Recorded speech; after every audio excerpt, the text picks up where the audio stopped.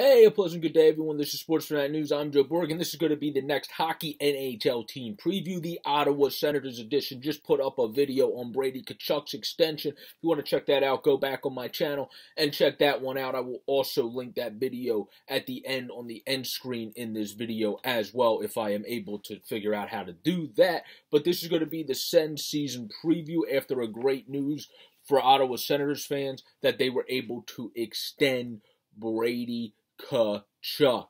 But let's get into it. When it comes to the Senators, other than just Brady Tkachuk, there's a lot of young talent on this team already and the potential to get more. Because, of course, you guys have your own first round pick this year, two seconds, and three thirds, and then three sevenths, but that's not as important. But the second, the extra second, and the two extra thirds definitely leave you room in trade bait to move up in the draft around draft time or to even get guys that you want, especially with third round picks that fall out as youngsters in an organization that maybe you think you can bring in that will mix in well with the Shane Pintos of the world and the Drake Bathersons of the world, the Josh Norrises of the world, the Brady Tkachuks of the world, the Tim Stützles of the world, Formentons of the world, and all the other young cats you have that are going to be coming up as well, like the Ridly Greigs down the line. Excuse me. So you're going to have all that. I think this team definitely is starting to finally show that they're building up and building a great foundation that they've been showing that you all have been showing that for the last few years but now it's finally coming to fruition in the NHL level where I think sooner rather than later we're going to see a successful Ottawa Senators team again and it's going to be a run of actually some successful hockey because of this good young core you have developing in Ottawa. Now, this year, I don't think that's the year that that's going to happen and it's going to strike for the Senators to be one of the playoff teams, obviously. They have them projected when it goes to the hockey news as sixth in the Atlantic, which is obviously moving up a little bit. And I think you guys are going to continue to move closer and closer to 500 because that's the goal here. You want to keep getting better and better and building and budding. But obviously, the big thing to how close you're going to be able to get to that is what the hell Matt Murray's able to do at this point of his career. Is he able to kind of reestablish himself and play like a microcosm of the old Matt Murray? Because obviously Anton Forsberg is a journeyman. You're not gonna. He's just a third goaltender, and then Filip going to be your future goalie at this point, and it seems like he's going to be a very successful future goalie. But you don't want to have to overtax him if Matt Murray sucks.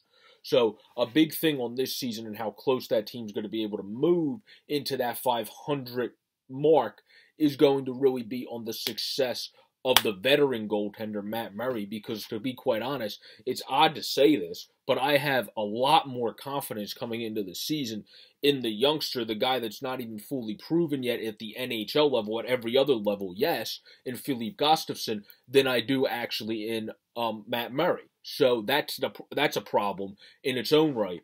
But when it comes to the rest of this team, you were able to bring in, of course, a veteran guy, nothing special, but Nick Holden just to kind of be there. He's been around the pipe before. He's been on a bunch of different teams. He's a good veteran to have to have around your young defense, like Victor Mete, like Artem Zub so you can have people, even Thomas Chabot, to have the veteran that's been around the league and all that in the locker room, and you have Michael Del Zotto as that too. So I think it's always good to have those guys in your locker room around your young core down there. Plus you got Lassi Thomson, who's a good, already possesses the puck well and plays the puck well. He just needs to get more efficient in his own end, and he can be a nice defenseman fairly soon. Jacob Bernard Docker, of course, already looked good in his nice cup of coffee. So you have defense more coming up too. So it's always nice to have those veterans that can kind of integrate these guys and make them feel more comfortable when they first come up.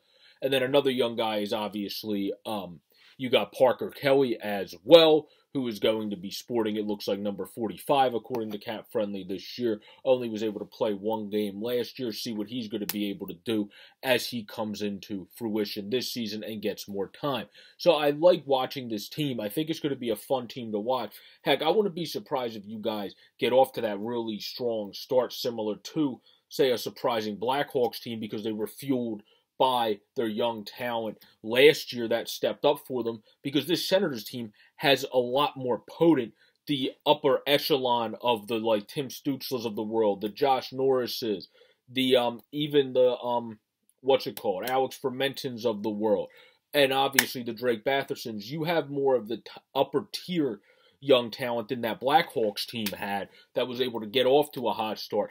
I just don't see this team here yet to be able to contend, to be able to be in a playoff spot. But being projected six is moving you up definitely a little bit. So you're getting there, you're getting closer, and that is exactly what you want to see out of the Senators team. I think you're going to see improvement out of the young core and out of everybody, even the Formentons of the world, who's taken a little bit longer than people expected, but he's 22 freaking years old. He still has a lot of time to develop, not even in his prime years yet. Shane Pinto did good when he first came up, still only 20 years old. So I'm excited to see what he's able to do and what Norris, Stützle, and the other youngsters are able to do. So this has been an Ottawa Senators season preview. I hope you all enjoyed it. I think you guys are going to have have a successful season in terms of what you want to see. Everyone you want to see develop, I think, will. And then you maybe have some surprise guys, just like the Blackhawks did last year and the Kurashevs and others of the world, that were able to kind of expedite that rebuild process in their minds and move it along a little bit quicker. So, I think this will be a good season for the Ottawa Senators, all things considered. So please subscribe down below if you enjoy the content or up above on the easy to use